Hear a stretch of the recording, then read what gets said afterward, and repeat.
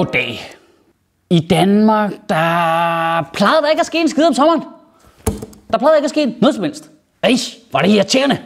Altså prøv, i gamle dage, gode gamle dage, der havde vi sgu noget, der hedder gurketid, du. Det var hen over sommeren, hvor alle medier med respekt for sig selv, de satte praktikanterne til at styre lortet, så alt fra weekendavisen til DR-nyhederne mindede om BT. Der var to måneder om sommeren, hvor alt var BT, og alle artikler var sådan noget med, så meget mayonnaise kan et menneske tåle, og cirkusklovnen lukkede damen til at kigge ind i blomst. Du gætter aldrig, hvad der er så sket. Men nu er det kraftigt som om virkeligheden også har været inde i en lockdown i to år, og bare skal ud og fyre den super meget af, mand. Jesus, slap af virkelighed. Der er fucking bare flyselskaber, der går konkurs, og skyderier, og krig, og abortlovgivninger, og minklort, og... Jamen altså, for helvede. Vi skulle have ferie nu. Så slap af i virkeligheden. Du er overtræt. Jeg, jeg klæder til satirikernes fagforening. Så i denne uges sommeropsamling, der starter vi øh, med det klosterfuck, vi kalder minkskandalen, som har fået sin forløbige konklusion. Øh, det startede som panik over coronamutationen kloster 5, men endte som et kæmpe klosterfuck. Er det noget, vi skal have på noget merchandise egentlig? Det tænker jeg. Skal vi ikke lave nogle kopper med kloster 5? More like kloster fuck. Godt. Min kommissionen, der skulle undersøge forløbet omkring manglende lovhjemmel i forbindelse med aflivningen af alle mink, er kommet med sin rapport. Ja, og den er så lang, at det i sig selv nærmest er et øh, demokratisk problem. Ja, ja, ja, altså, den, den er jo fuldstændig utilgængelig for almindelige mennesker. Og med utilgængelig mener jeg ikke, at du ikke kan finde den. Men det mener jeg, at hvis du er et almindeligt menneske med nogenlunde almindelig familieliv og et arbejde og venner og ting at sætte, så har du ikke tid til at læse 1649 fucking sider om andre folks kæmpe store fejl. Jamen, jeg, vil, jeg, vil ønske, jeg, kunne, jeg vil ønske, jeg kunne kamuflere min egen fejl i 1600 sider rapporter. Jamen skat, hvorfor kommer du halvanden time for sent til vores aftale? Det er du sgu nok lige nødt til at gnasse dig igennem den her rapport for at finde ud af. Nå, det gider du ikke. Ved du hvad? Skal vi ikke lade være med at læse den, og så giver vi mig en næse, og så snakker vi ikke mere om det. Og for at øvrigt lige at være helt sikker på, at interessen var på et absolut minimum hos den generelle befolkning, så udkom rapporten også om eftermiddagen op til den første Tour de France start i Danmark nogensinde. Ja, det var meget godt tænkt. Det var, det var, det var så tæt på, at Mette Frederiksen var blevet professionel cykelryller for at slippe for at svare på spørgsmål. Nej, det må du undskylde, Brian Weikart. Det kan jeg ikke lide. Jeg skal gå ud og køre enkeltstart for Team Ingers. Ja, det må du undskylde. Nej, nej, statsministeren, hun er sgu på Roskilde, du. Hun kan ikke forladet campen for at svare på spørgsmål. Hvad tror jeg, hun er sindssyg eller hvad?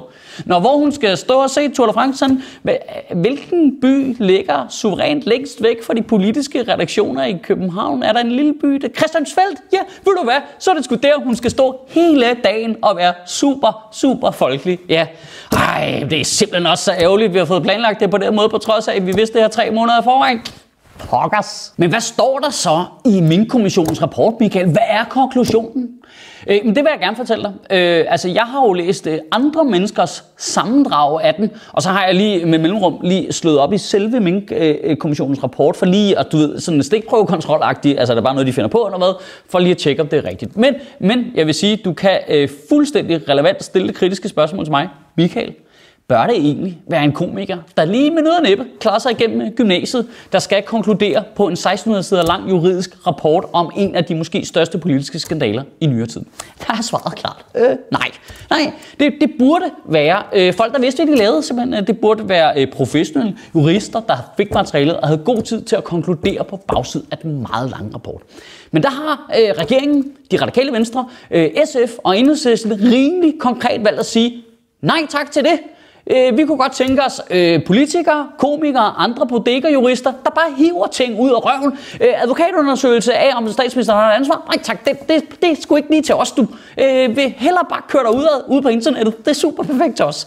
Det er ret sjovt skisma, vi arbejder med her, for når det kommer til corona, virus, vacciner, der er det meget vigtigt, at vi lytter til myndighederne og til fagfolk, der ved, hvad de laver, og ikke drager forhastede konklusioner. Når det kommer til lovgivningen bag, så er det lige meget så, så finder du bare på ting. Det for, nej, der skal da ikke være nogen fagfolk, der kigger på det.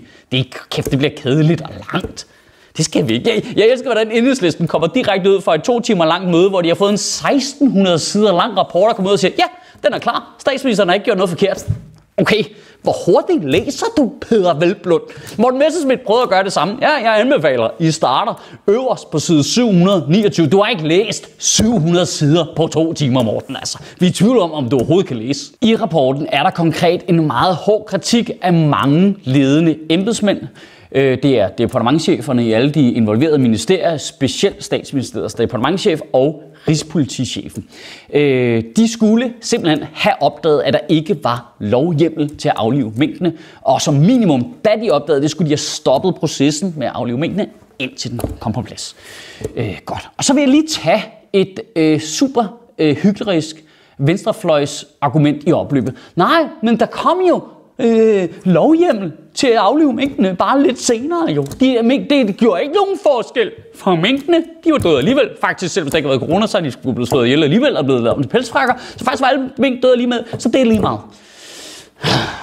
Det er ikke det, det handler om. Det, det, jeg synes, det er meget, meget hårdt for mig at se kloge, kloge mennesker, der har brugt de sidste to år på at sige, det handler ikke om barnbrud, det handler ikke om barnbrud, det handler ikke om barnbrud. Bare slå direkte over i, mængdene de var døde alligevel, mængdene de var døde alligevel, mængdene de var døde alligevel.